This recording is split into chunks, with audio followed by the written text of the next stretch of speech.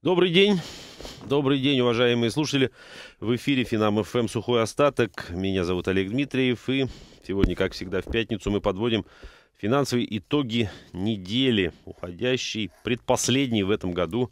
Ну, по крайней мере, рабочий, активно рабочий. А в гостях сегодня представляю своих коллег. Дмитрий Сухов, генеральный директор компании «Инвестиционный сервис». Дмитрий, добрый день. А, добрый день. И в студии Михаил Молодов, управляющий активами. Добрый день, Михаил. Здравствуйте.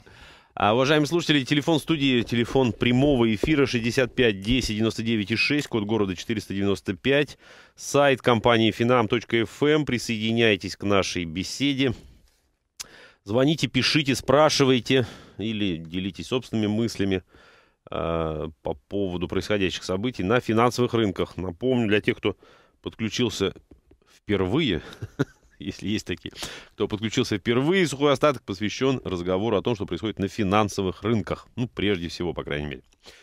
Так, и, и, и, и, давайте я начну традиционно. Картина маслом. 15.06 в Москве. Что к этому времени произошло на этих самых финансовых рынках? Начинается вчерашней Америки. Закрылась она разнонаправленно, но, в принципе, позитивно. А, прибавил символически 0,06% индекс Доу Джонса, 1679 его котировка на закрытии 1809 пунктов S&P, ну, в легком символическом минусе, 0,05% а, по сравнению с закрытием предыдущей сессии. И NASDAQ также слегка потерял, закрылся минус 0,2%. А, Азия, Азия, ну, можно выделить только индикатор китайского рынка, он снизился на 2%, в принципе, Японский индекс Nikkei 225 практически в нулях закрылся без особой динамики. Смотрим, э, что происходит сейчас на торгах в Европе. Фудси 100 растет скромно, но тем не менее прибавляет на 8, 10, на 8 сотых, простите, процента, а наши индикаторы под водой. РТС теряет одну десятую, 1429 его текущая котировка. И практически рядом с, ну, наверное, психологически важным уровнем или каким-то другим, но важным уровнем в 1500 пунктов балансирует ММВБ. Сейчас чуть ниже 1497. И, э, собственно, теряет в моменте 0,06%. Смотрим на сырье и на рынок Форекс. Рынок Форекс. Так, что касается сырья. Ну, говорим о нефтяных котировках. Прежде всего, достаточно высоко стоит бренд 110 с полтиной. Лайтсвит также подрастает. 98,80 э, за бочку этой нефти дают.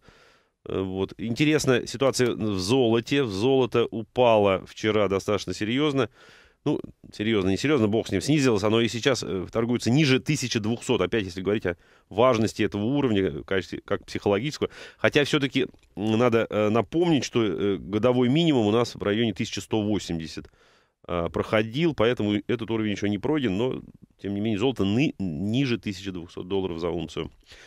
Так, на, э, на валютном рынке, собственно, движения происходят. А, и стоит отметить, евро-доллар торгуется ниже 1.37, и доллар-иена показывает годовые максимумы, а, и уверенно стоит выше 104 фигуры 104.40. Текущая котировка доллар-иена. А, ну и набор голубых фишек у нас сегодня разнонаправлен, разнонаправлен, и, наверное, даже особой динамики. Хотя нет, Уралкалий прибавляет процент, ну, наверное, новость мы читали сегодня все. Я так понимаю, радостно радостно акции на это именно реагируют, на эту новость. Так, и что еще тут интересного? 9 десятых э, в плюсе, ну почти процент Аэрофлот сегодня растет. Э, хуже рынка Норникель полпроцента, Лукойл полпроцента, и что тут еще? И почти процент теряет, да, Сургутнефтегаз. Ну да ладно, вот такова картина маслом. К этому времени, в общем, жизнь, жизнь продолжается. Но наша с вами первая задача, Миш, да, а, все-таки э, поговорить о Э, итогах уходящей недели, и, наверное, ни для кого не, не секретом это является. Кстати, э, Почему я э, с этого хотел бы начать? Потому что у меня не было возможности в эфире это обсудить. Среда, среда, ну в среду понятно, мы это не смогли обсудить, да, по известной причине. А вчера была программа специ- специальная, и даже рынок мы не трогали. А обсудить есть что, да? Как в том фильме, помните, да? День взятия Бастилии впустую прошел, да? Поздравить-то есть кого. В общем, заседание Федрезерва.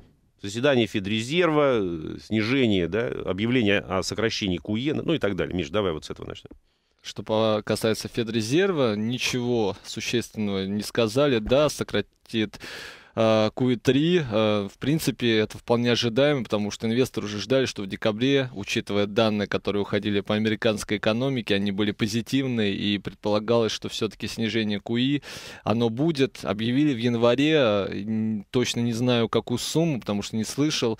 Ну, я думаю, что это будет в районе 10 миллиардов долларов. Так, и... так оно и случилось. Да, Ты серьезно не слышал, что ли? Я серьезно не слышал. И даже и не следил за этим. Да, потому что было очень много работы, поэтому а, не нравится. А какой работа тогда у тебя была? Бумажный какой-то? Перекладывался со стола на стол? Операционный.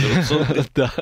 Вот, поэтому скажу так, что 10 э, миллиардов, это вполне ожидаемо, угу. это должно было произойти еще несколько месяцев назад. Происходит в январе, поэтому рынке мы видим, что не восприняли это сильно негативно. Наш фондовый рынок, допустим, за это время, если брать от того, как сказали, на текущий момент даже вырос. Угу. Поэтому здесь ничего экстраординарного нету, это все нормально, такое снижение в пределах разумного, рынки воспринимают это нейтрально, и я думаю, что э, касается в целом рынков, это не тот повод для снижения, который сейчас может появиться на рынках. То есть угу. повод для снижения, он будет в дальнейшем, наверное, он появится где-то э, ближе к февралю. Э, на текущих моментах я думаю, что вот такой мини-ралли, может быть, еще американский рынок устроит и закроется, может быть, в районе 1800 по SP, угу. э, может быть, чуть даже повыше, поэтому Поэтому я думаю, что рынки приблизительно на своих хаях западно закроются. Наш закроется, как я и говорил, э, несколько месяцев назад выше 1500 по МВБ. Выше 1500. Ну, кстати, я помню прекрасно, как ты это говорил, но тем не менее, смотри, у нас сейчас э, МВБ стоит как раз да, в районе 1500 пока пока э, не, не, не подрастает. Да, но еще следующая ну, еще неделя, есть неделька, да, есть неделька. поэтому я думаю, что все еще будет. У нас инвесторы заждались хоть по какому-то росту, поэтому, думаю, получит его на следующей неделе. Я понял. Дим, тот же самый вопрос. Э, ну, ты следил, я надеюсь, за этим делом? Конечно, как без этого. У тебя меньше оперативно, как у генерального директора работы, я надеюсь. Ну, оперативную работу секретари должны выполнять. Да, мне сложно сравнить вот, с кем бы то ни было. Вот. Ну, за рынками, безусловно, я следил. Э, ну, на самом деле, вот реакция э, западных рынков на решение ФРС, она неоднозначная, да, поэтому с точки зрения фундаментального анализа должна быть с точностью да наоборот, угу. да, но мы видим рост. Но и это еще раз подтверждает, что рынок находится в фазе, бычьей фазе, угу. да, и какая бы новость ни вышла, позитивная, негативная, Он да, все равно реакция, растет. да, всегда вот однозначно. Однако я бы обратил внимание на а, очень а, другие интересные а, моменты, которые а, мы наблюдаем из корреляции с другими рынками. Uh-huh. Да, в частности, вот вы заметили, Олег, рынок золота, да, о том, что золото обновляет э, многомесячные минимумы. И э, здесь идет, опять же, фундаментальный процесс. Как, почему? Потому что когда были ставки близкие к нулю, да, uh-huh. там 0,0, 0,25, э, то золото было альтернативным инструментом сохранения капитала. Uh-huh. Да, по крайней мере, это очень сильный защитный инструмент uh-huh. да, от инфляции. Но когда начинается цикл роста ставок, да, банковских ставок, мы про учетную не говорим, да, вообще, то есть рыночных uh-huh. ставок, uh-huh. заимствования, э, наверное, начнется все-таки с коммерческих ставок, да, а потом и ФРС подтянется сюда. Ну, базовую, кстати, они оставили, да? Да, пока uh-huh. оставили, но э, процесс неизбежен будет, да, потому что первичная инфляция, за инфляцией, э, ну, ни одна э, рациональная экономика не будет держать э, ставку кредитования, uh-huh. да, ниже уровня инфляции.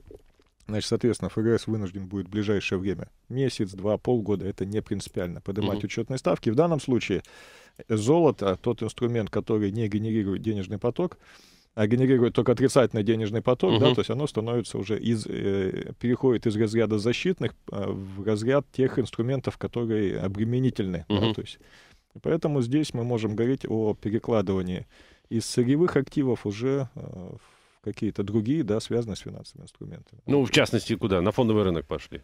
Э, да, на фондовый рынок. И э, я думаю, что если фондовый рынок э, развитых рынках... Дим, прошу, ага. прошу прощения, прерву тебя. Сейчас у нас новости на Финам ФМ. Послушаем, потом да, продолжим. Хорошо. Итак, друзья, мы продолжаем эфир. Сухой остаток на Финам ФМ. Меня зовут Олег Дмитриев.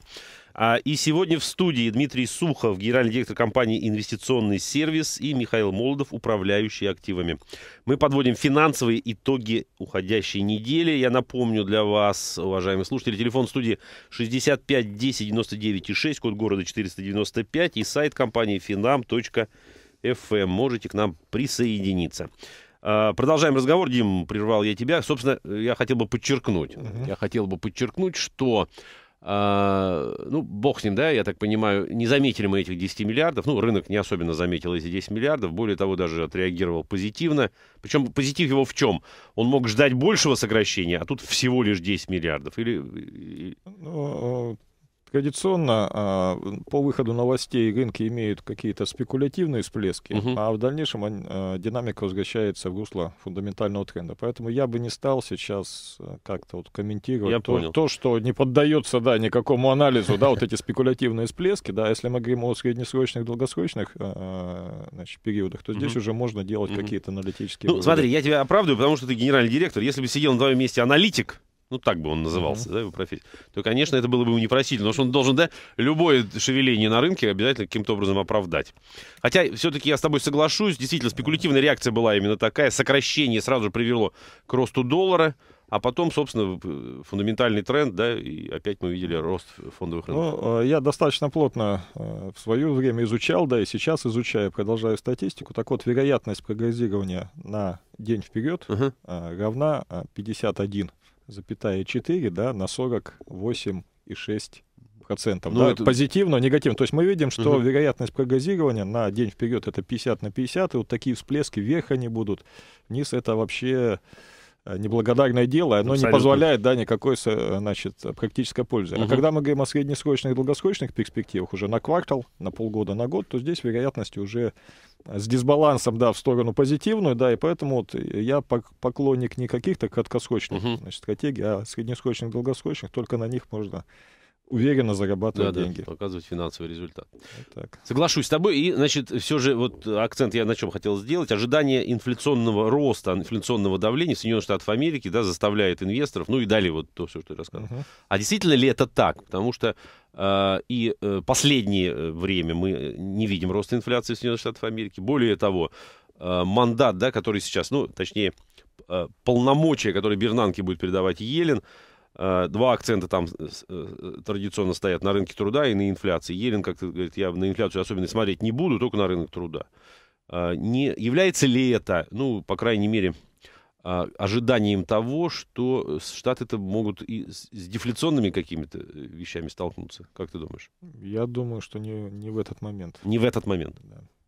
Миш, что по поводу инфляции в Штатах ты можешь сказать? Ну, действительно, последние данные по американской инфляции они выходят минусовые, да, то есть инфляции там нет, и э, такой вот ходил миф, что если будут закачивать деньги э, ФРС будет закачивать деньгами рынки, то инфляция будет расти, но этого не Должна, происходит. Должна, по крайней мере. Должна, да? да, этого не происходит, все под контролем ФРС, и угу. сделали все очень грамотно, подняли экономику, инфляция под контролем. Поэтому, на мой взгляд, э, инфляция, наверное, все-таки будет расти с тем, как будет развиваться экономика. Сейчас они начинают сворачивать свои программы, и вполне возможно инфляцию, где-то рост инфляции мы уже увидим к концу года, когда американская экономика ну, будет пытаться полностью восстановиться. Угу, угу, угу. Ну и здесь можно ждать, дадим, соответственно, ну, уже я, изменений. Я процесс... не соглашусь Давай. с, э, с этим мнением, да, потому что инфляция это такой многозначный э, показатель. Угу. Да, если мы говорим о потребительской инфляции, то здесь да, да, я согласен. А с другой стороны, мы можем посмотреть на инфляцию и рост других активов, тех же самых фондов. Да? На, достаточно посмотреть на индекс Dow Jones, на индекс S&P, uh-huh. поэтому я считаю, что фон, финансовые рынки, они абсорбировали вот эту вот излишнюю ликвидность, да, финансы, uh-huh. да, и вот они показали вот феноменальный, да, значит, аномальный рост, который вот мы наблюдали по итогам 2013 года. Uh-huh. То есть, uh-huh. вот, поэтому вот, инфляция, она такой вот сложный для учета показатель. Здесь нужно смотреть, а какие активы выросли, то есть где мы увидели прирост. Вот так. Я понял. Хорошо. Э, ну, предположим, действительно это так, что финансовые рынки, ну, об Америке сейчас говорим прежде всего, да, абсорбировали лишнюю ликвидность и не дали возможность да, ценам, ценам на, на потребительский товар в том числе вырасти. А, а с другой стороны, посмотрите, если на финансовый рынок, не э, выглядит он надуванием пузыря, именно фондовый рынок Соединенных Штатов Америки. Потому что, ну, отрыв, да, если периодически мы говорим, сравните, да, как выросла экономика, и за этот период как вырос фондовый рынок. Отрыв колоссальный, Дим. Да, я поддерживаю. Действительно, э, мы видим аномальное расхождение. Вот то, что реальный сектор э, отстает от фондового рынка, или фондовый рынок опережает, здесь можно по-разному да, это да, все да. подавать. Вот. Любая аномалия, да, это способ э, заработать, да, то есть как, способ найти какие-то инвестиционные стратегии, да, то есть подходы. Угу. Вот. То есть только так я это считаю рассматривать. Ну, вот сложилась она, это факт, да, с которым Э, спорить сложно, ну, да? да, то есть дальше мы должны делать выводы, как на этом заработать, то есть как это все применять в стратегии. Угу. Вот так. Я понял. Ну, кстати, если все-таки попытаться сделать вывод или, по крайней мере, понять, как на этом заработать, ты бы стал сейчас ставить на рост, на дальнейший рост э, американского рынка, или все-таки мы ждем, он лопнет в ближайшее ну, время? он не лопнет. Всегда говорят, что американский рынок самый стабильный рынок, он и останется им. Uh-huh. Если будут такие моменты как бы разовые, когда он там падал на 20 процентов в день, да, потом все выкупали, uh-huh. ну, такое может произойти, это так называемые черные дни, там черный пятница, черный вторник и так далее. Что касается американского фондового рынка, я думаю, что пузырь там есть, я думаю, что он будет сдуваться, а, но сдуваться он, наверное, будет в пределах 10-15% от своих максимальных значений, ну, то есть это в пределах разумного коррекции, коррекции да. Угу, угу. Поэтому для американского фондового рынка больших рисков на текущий момент я не вижу, угу. я считаю, что сворачивание QE3 это правильно необходимая мера, и думаю, что это только позитивно отразится, постепенное сворачивание на всех компаниях, всех секторов, потому что, а, правильно сказал коллега, что э, та ликвидность, которую дает ФРС, э, на свои балансы принимают многие финансовые организации, а это влечет за собой довольно-таки э, краху, скажем так, ага. различных институтов, потому что не все могут пользоваться свободной ликвидностью правильно. Поэтому я думаю, что именно постепенное освобождение освобождение от этой ликвидности приведет на, даже к позитивной ситуации на фондовых рынках США, но тем не менее, я думаю, что вот тот рост, который был действительно, я считаю, аномальный, угу. последние три года, я думаю, что уже такого роста не будет, скорее всего, выйдем на уровень, который был до 2008 года, то есть где считалось порядка 7-10% роста американских э, э, индексов, индексов в год, это считалось очень хорошим результатом. Угу, угу. Я понял. Хорошо, теперь давайте к нашей отечественной действительности вернемся. И э, вопрос такой, Дим. ну, по поводу как раз вот этих, э, может быть, не совсем э, классических взаимосвязей, да, наблюдаем мы в течение всего года, и, может быть, даже чуть больше, э, некую раскорреляцию движений на российском рынке, да, и на его старших товарищах. Вот. С чем это связано, на твой взгляд?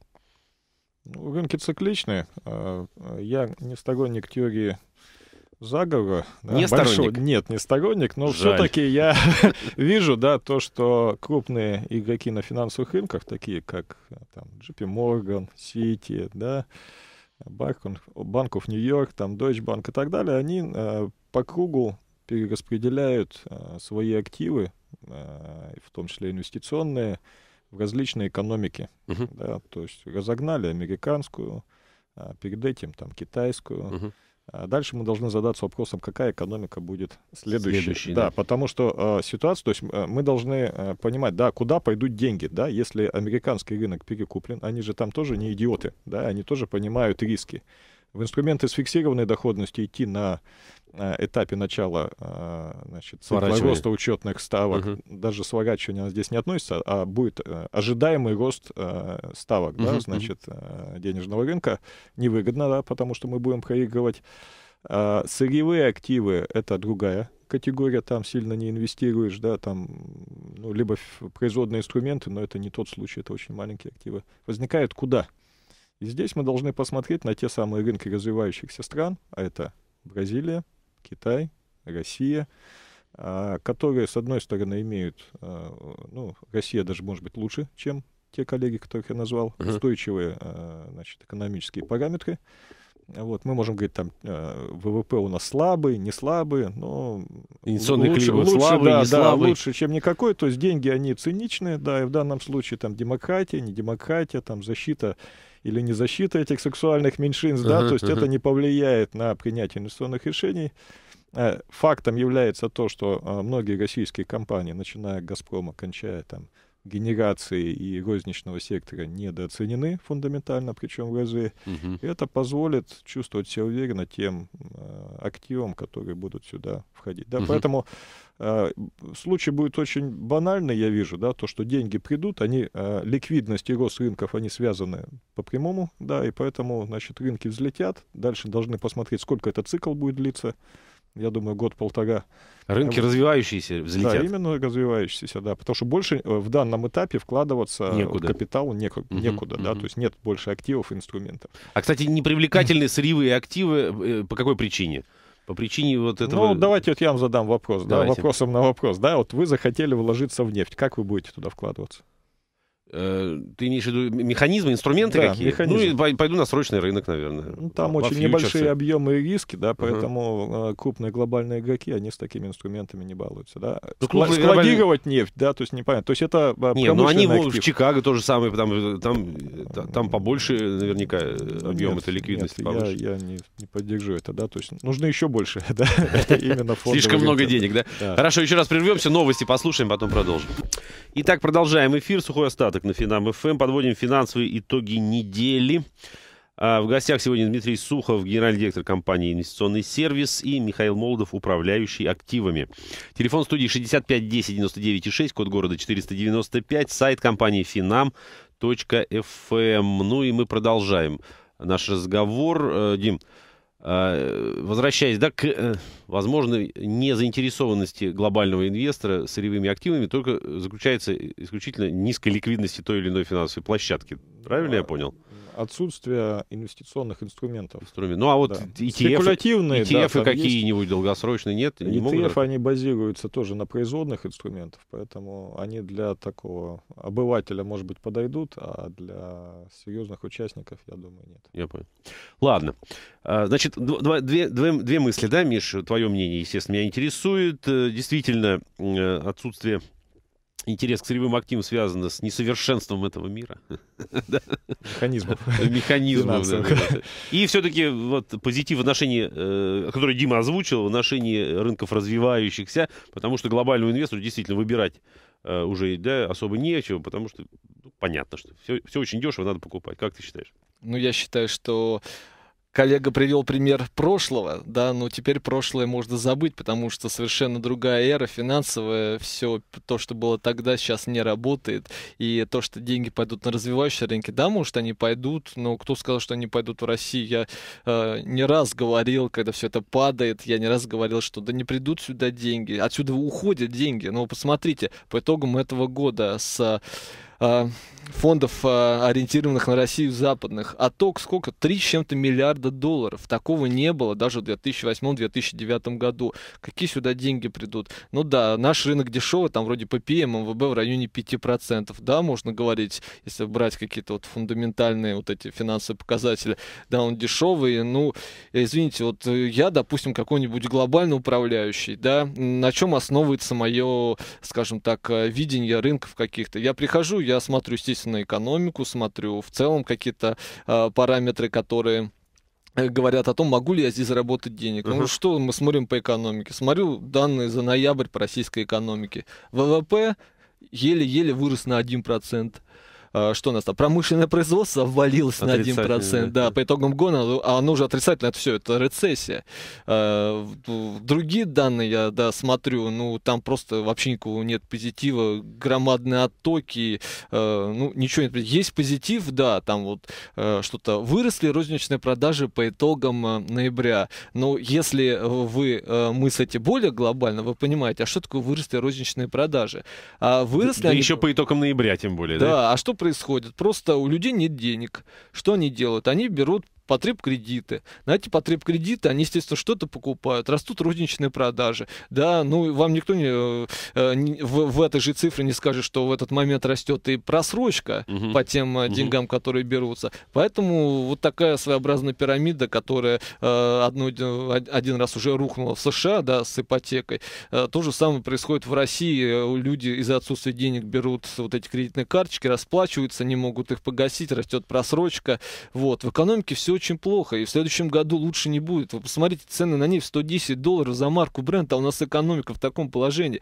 А почему никто не представляет, что, почему все думают, что нефть будет всегда расти? А почему? Вы мне скажите, где фактор, что она будет всегда расти? Вот она уйдет ниже хотя бы процентов 20, да, и мы посмотрим, что будет с российской экономикой, у которой бюджет на следующий год, если не ошибаюсь, там в районе 103 долларов, и то он будет, скорее всего, пересмотрен под конец 2014 mm-hmm. года, как это произошло в 2013 году. Смотрим на состояние денег корпоративного сектора. Да вообще кошмар. Все. Э, государственная монополия, там Газпром, Роснефть, это просто супер неэффективные компании, которые ну, не могут быть эффективными с точки зрения своей вообще э, своей вот э, Гиганти...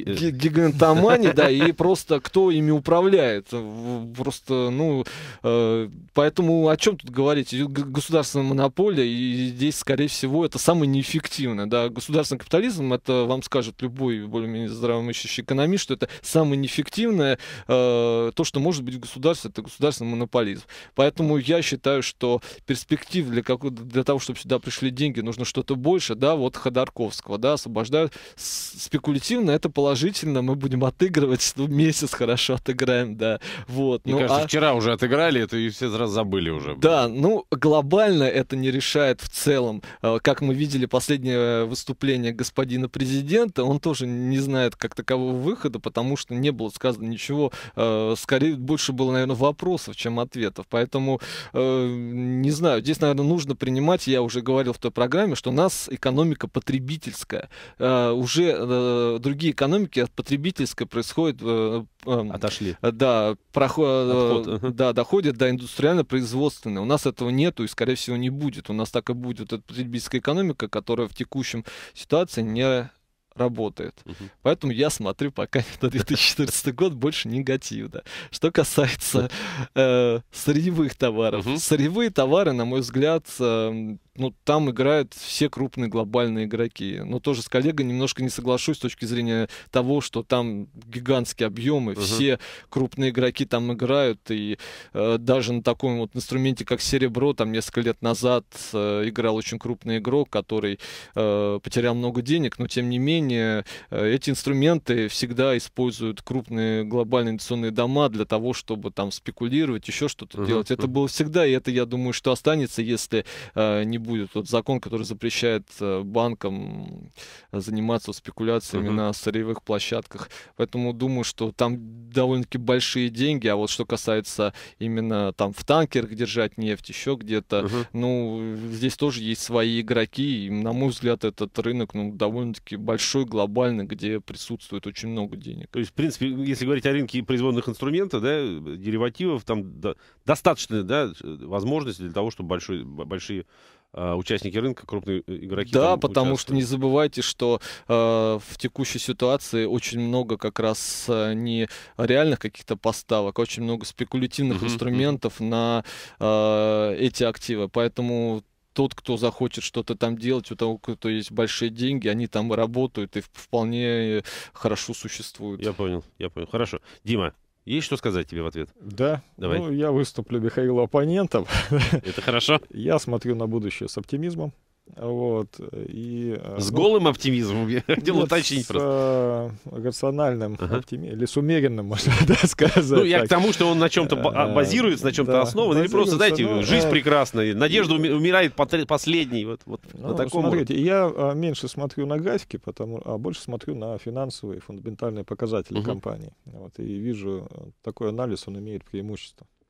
Так вот, а, хотя упоминали, Михаил упомянул нерациональность а, управления госкомпаний, uh-huh. но возьмем, ну, далеко ходить не будем, тот же самый «Газпром», да, и возьмем и сравним, а чистая прибыль «Газпрома», да, 25, 28, 30 процентов, да, по квартально.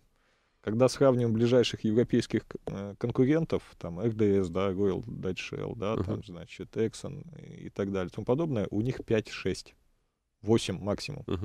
А эффективность российских монополистов в три раза выше, с учетом того, что там все уже отжали, да, там, uh-huh. значит, как там это, какое там слово-то сейчас модное, да, значит, спилили, это с учетом того, что спилили, они еще генерируют гигантскую чистую прибыль. Да, Коллега лукавит, извиняюсь, быстро да. скажу, что а, у тех компаний западных много активов, даже большинство, а «Газпром» качает все у себя на родине. Это очень существенно, расходы немножко другие. Uh-huh. Неважно, то есть мы рассматриваем финансовый актив, да, у которого есть в, на входе денежный поток на выходе, и мы видим, что неважно, где этот а, актив, да, вот этот черный ящик находится, вот если он на выходе дает 30%, ну, как у Маркса было, да, вот там, когда есть какая-то доля прибыли, то не важно, хоть на любое преступление, да, пойдет капитал, да, а если он видит высокие нормы рентабельности. И здесь мы видим высокие нормы рентабельности. Почему Европа так на «Газпром» идет э, волной, да, uh-huh. там прессует его со всех сторон? Потому что вот эта прибыль формируется за счет европейцев, да, то есть им жалко отдавать деньги, они сами по крохам у себя там собирают, а тут видят, что Россия у них, значит, миллиардами, там, Газпром по 40 миллиардов в год генерирует, значит, чистую прибыль. Uh-huh. Кто ему дает это? Не российские, э, значит, участники, да, а в, в первую очередь западные, да, европейские и так далее. Uh-huh. Вот, то есть поэтому я вижу, что компании, они чувствуют себя хорошо, то есть на фондовых рынках есть мода, да, и вот Россия была не в моде. Э, негативное информационное поле, еще какое-то, но с точки зрения финансов и компаний, я не, не говорю, что нужно обобщать, да, то есть здесь, конечно, нужно, угу. значит, э, дифференцировать, да, да дифференцировать, да, то есть отделять одно от другого, но у нас целый ряд секторов, отраслей, которые чувствуют себя хорошо, и несмотря на то, что общий экономический цикл нейтральный, либо даже умеренно негативных, негативный, то отдельные отрасли, они демонстрируют рост, устойчивый рост, это являются э, развивающиеся отрасли, если хотите, я могу их назвать. Ой, да, очень есть, хочу, я хочу. Да. Это финансовый сектор, да, тот же самый банковский. То, что сейчас произошло кровопускание, да, вот этих мелких банков, uh-huh. значит, там выпустили пар, а, это даже на пользу пойдет сектору. А, и те а, ценные бумаги, которые торгуются на бирже, это ВТБ, uh-huh. Сбербанк. Ну, немного там. Да, их немного, да, то есть они получат преимущество да, из всей этой ситуации, потому что вклады будут перетекать, э, значит, вот, ну, уже не только да. вклады, угу. да, еще и счета угу. расчетные юридических лиц э, в крупный финансовый институт. Это первый момент. Ну и тоже вот уже Михаил упомянул, я тоже с ним согласен, то, что высокая закредитованность населения – да, для населения в целом это минус, да, это показатель финансовой неграмотности, по большому счету, uh-huh. населения. Но для банков это плюс. Те ставки по кредитам, особенно по потребительским, это колондайк, да, деньги из воздуха, да.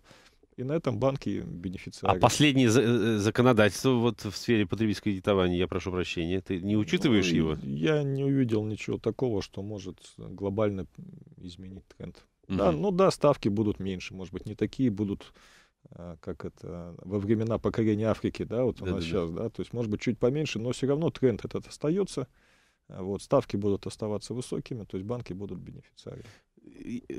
Соглашусь с тобой, в общем, банковский сектор, да, понятен более-менее. Что еще можно сюда же? Ну, туда, где э, государство не вмешивается с госрегулированием, вот, а оно не вмешивается пока э, в сектор, связанный с э, потребительским потреблением, uh-huh но если мы берем в разрезе фондового рынка, то это два сектора. Это сектор перевозок а, и сектор а, продаж. Да? Uh-huh. То есть и все вот как-то прямо или косвенно с этим связано. Uh-huh. Ну, соответственно, перевозки у нас кто там, если берем компании, это Аэрофлот, ЮТЕР, uh-huh. а, значит, морские перевозчики, а, железнодорожные перевозчики у нас, значит, ну, в основном коммерческие сейчас торгуются на бирже, да, там Global Trans, да, и так далее.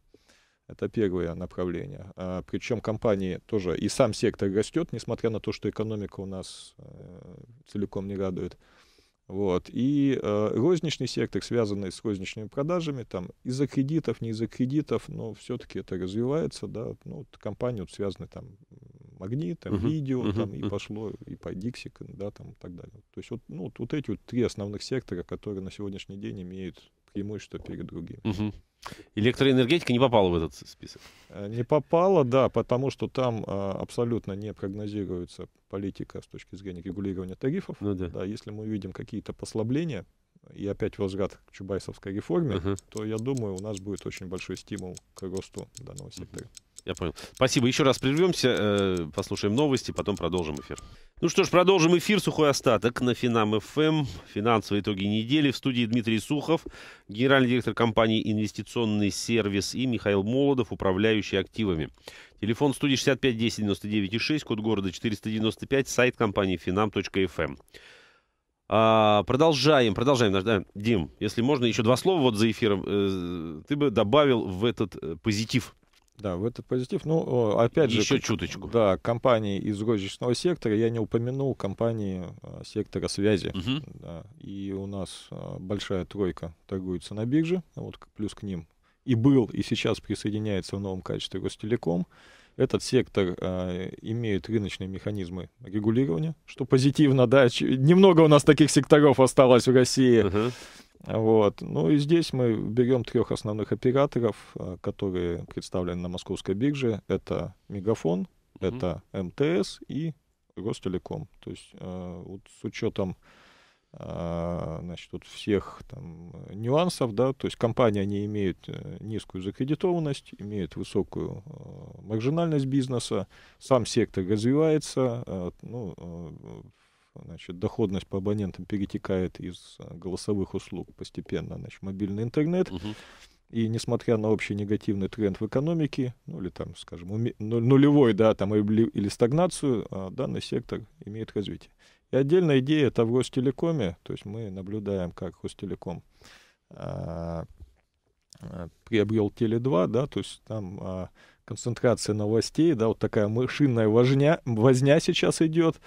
И э, это связано с тем, что э, Ростелеком станет четвертым конкурентом, да, оператором, который выйдет на рынок мобильной связи. Uh-huh. Вокруг Ростелеком уже не один год у нас а, вот, и, идут, значит, борьба, да, кто, кто его возьмет под контроль. А, вот, я думаю, что здесь есть какая-то интрига, и мы можем увидеть, что вот Ростелеком выстрелит, да, и кусок хлеба uh-huh. а, съест у своих вот конкурентов, uh-huh. да, у Билайна, МТС и мегафона, соответственно. Uh-huh. Вот, ну, это в качестве вот идеи такой, да, идеи, да, то есть есть вероятность, что она реализуется, но есть, конечно же, и риски, да, в этой идее. Безусловно, безусловно. безусловно. Не, ну главное, что есть идеи-то, вот да. всегда же отсутствие идеи или их дефицит большой, да, мы э, по этому поводу в том числе печалились, говоря о российском рынке. Миш, ну ты, тем не менее, позиция твердая, ты российский рынок не воспринимаешь в качестве да, серьезного э, повода для инвестиций и будешь смотреть на зарубежные площадки. Я напомню, ты же управляющий активами, тебе же все равно именно как-то управлять. Да, немножко неправильно, да, Давай. потому что э, есть тренды. Э, это не значит то, что я говорю, что будет все негативно, это uh-huh. не значит, что на этом нельзя заработать. Uh-huh. Это тоже неправильный подход.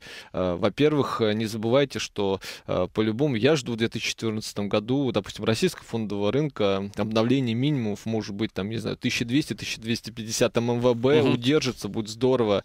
Э, ну, может и не удержаться. Поэтому нужно просто дождаться определенного времени для покупок. Э, как я вам говорил, да, что э, Э, акция э, или там без разницы актив упавший на 90%, это э, вначале он падает на 80%, потом еще в два раза. Вот поэтому, чтобы не ждать, пока он упал на 80%, купить, и потом он пойдет еще два раза, э, смысла в этом нет. Поэтому просто нужно действительно исходить из того, чтобы покупать. Вот на текущий момент в этом году что работало? Надо, надо было покупать фактически там 6-7 акций, да, э, которые всего лишь росли на нашем рынке. Uh-huh. Все, их буквально 6-7 акций. Вот. Тот, кто их покупал, собственно говоря, они заработали. То есть надо было брать те акции, которые фактически э, были дорогими, но они все равно показывали существенный mm-hmm. рост. Это отличная тактика, которая работала. Э, покупка недооцененных акций на нашем рынке это уже давно не работает. Как и сказал, что вы покупаете дно, второе получаете бесплатно. Uh-huh. И можете третий, четвертый, десятый получить бесплатно. Этого делать не стоит, надо покупать сильные компании. Согласен с коллегой, да, действительно, э, надо смотреть на отчетность. Отчетность, э, что нужно покупать на российском рынке. Прежде всего, компании, где нет э, большой закредитованности. Да, а дешевый Мечел с 9,6 миллиардов долларов, э, э, кажется, на цифре он дешевый, там uh-huh. 60 рублей, но, э, извините, с такими кредитами только помощь государства спасет это предприятие. Поэтому нужно выбирать предприятия именно на российском рынке, где меньше всего э, подвержена закредитованность. Поэтому у нас растет магнит, нет.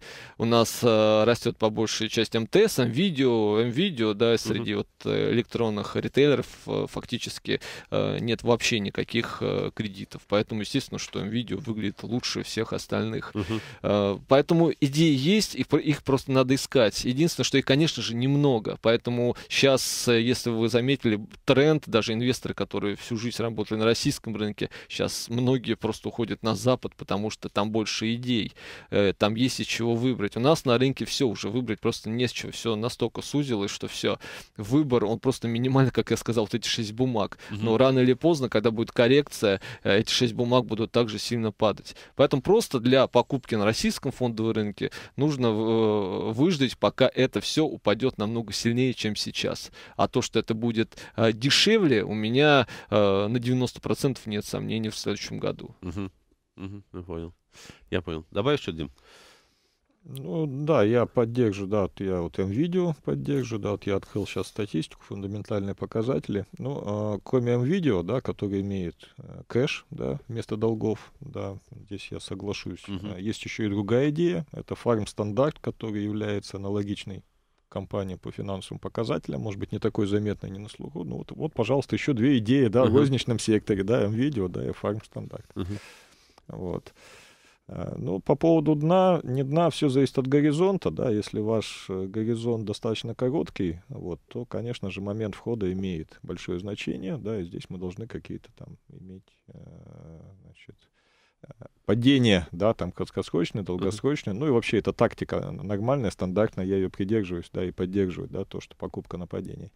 Однако в целом российский рынок уже э, низок, да, если мы возьмем не просто год да, там, а, прошлый, да, возьмем в динамике 3-4 или, может быть, даже 7 лет, то есть мы видим, да, то, что он торгуется существенно ниже э, справедливых значений, да, а компании торгуются ниже своей так называемой внутренней, да, стоимости либо справедливой стоимости. Uh-huh, Поэтому, если ваш инвестиционный горизонт год, 2, 3 или 5, то текущий уровень, он вполне приемлемый для долгосрочных инвестиционных, да, не спекулятивных покупок если можешь, вот мне лично, уточни, пожалуйста, я всегда, э, меня забавляет э, в какой-то степени э, этот термин, относящийся либо к справедливой стоимости акций, да, либо вот ты сейчас упомянул о справедливых значениях российского рынка.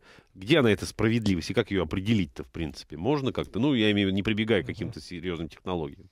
Ну, очень просто. А, когда мы видим акции Сургутнефтегаза и видим, что у него кэш 33 миллиарда и рыночная капитализация 33 миллиарда, плюс он еще генерирует денежный поток, uh-huh. то мы видим что-то здесь Несправедливо. Не, то. Несправедливо, да, потому что это можно сравнить с такой ситуацией, что вы покупаете кошелек за 750 рублей, да. в котором лежит тысячная купюра. И Сургутнефтегаз вот такой вот пример uh-huh. яркий. Uh-huh. А, вот, пожалуйста, вот такой. Газпром, который сейчас торгуется дешевле, чем шиномонтажка, с точки зрения прибыли, да, и стоимости этого актива, это тоже самый вот э, показатель, да, несправедливой оценки ценных бумаг. Угу. А, вопрос только в том, когда эта несправедливость будет реализована, а, на это фундаментальный ответ, а, фундаментальный анализ ответа не, не дает. дает. Почему? Да. Потому что здесь есть конъюнктурные вещи, связанные с притоком, оттоком капитала.